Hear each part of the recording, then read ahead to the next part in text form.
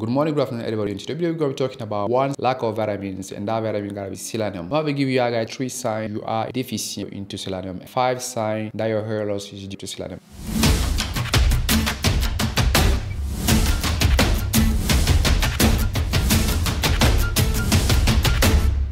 Let's start first with the signs I'm gonna be showing you are guys you are deficient into selenium and finish by the sign that your hair loss is due to lack of selenium. Sign number one gotta be foggy mental state. Sign number two, you know, muscle weakness, include your own heart muscles. You're gonna be asking yourself the outcome. Sign number two, you gotta be unwanted weight gain. Now let's talk about you know the sign that are linked to hair loss, right? Sign number one gotta be whenever you go about taking shower, go about rubbing your hairs, you know, your hair start feeling more than usual. Sign number two, whenever you go about you know combing your hair or brushing your hair, you know, your hair start feeling more than usual. Sign number three, the way your hair used to be shining before your hair no longer gonna be able to be shining the same way. Sign number four, your hair are gonna start growing thinner but shorter. Sign number five, your hair gonna start losing its, natural you know, texture. We all have natural you know, hair texture, right? But when you start losing that texture, that means know something wrong with your hair. So now that we spoke about the problem, let's talk about the solutions. I've got two solutions: dietary solution, supplementation. Right. So let's talk about first dietary solution and finish with the supplementation, right? Because you know I'm always advising people to go about you know acquiring their daily vitamin through natural food,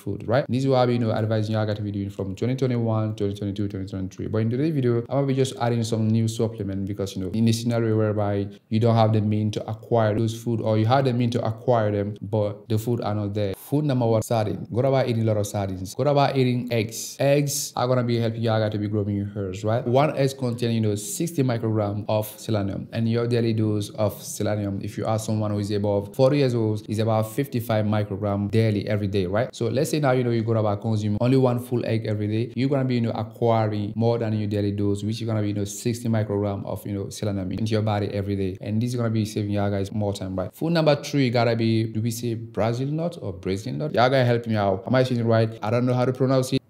This one it, you're gonna be helping Yaga to be getting some part of your daily dose. Number four, mushroom. Good about eating a lot of mushroom. Beef livers. Beef livers are high in selenium. And good about shifting from eating white rice to eating you know brown rice. Those food that I just spoke about, if you always getting them, you're gonna be able to be getting some portion of your daily dose of selenium inside, or sometimes the full dose of your daily dose of selenium from those food. And you're gonna be able to be regrowing your hairs, right? And this gotta be the best way to be going about it. However, you have the mean, but you cannot get all those foods, then go about buying one of these one and consuming, right? Or you go about taking one tablet a day. Always go about asking your own doctor that you do want to take this medication and if you should go about taking above two tablets. And this is going to be helping you guys to go about solving the problem and regrow your hairs. Right? That was all about today's video. If you guys got any further questions, ask me questions. I'll be here to give you guys an answer.